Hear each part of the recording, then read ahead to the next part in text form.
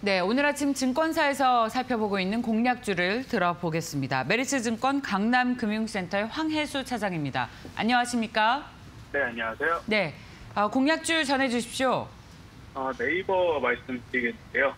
어, 네이버는 이제 전일 2분기 실적 발표를 어, 했습니다. 컨센서스를 소폭 상회하는 그 실적을 발표했는데요. 그동안 네이버의 어떤 주가를 어, 발목을 잡았었던 그 영업 이익률에 대한 그 대한 우려, 우려감을 해소시키는 실적을 발표를 했습니다. 어, 영업 이익률이 20.2%를 어, 달성하면서 어, 1분기 대비 1% 가까이 증가하는 그런 실적을 보여줬는데요.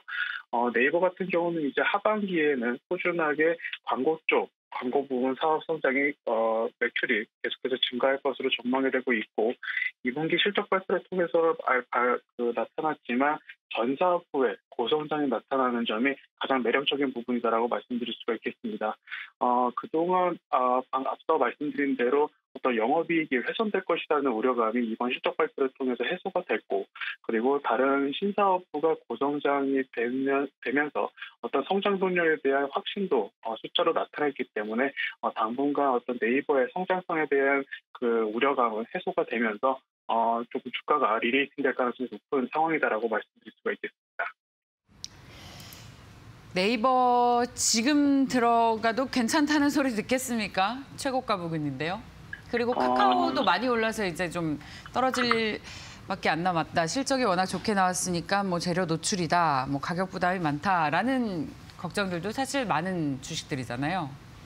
어, 우선 카카오를 비교해서 말씀드리자면은 카카오 같은 경우는 자회사들의 상장이 계속해서 나타나는 상황에서 그동안 이런 부분이 주가에 반영이 되었고 어, 자회사들 상승에 따른 차익 실현이 나타나고 있는 상황이다라고 보시면 될 것 같고요.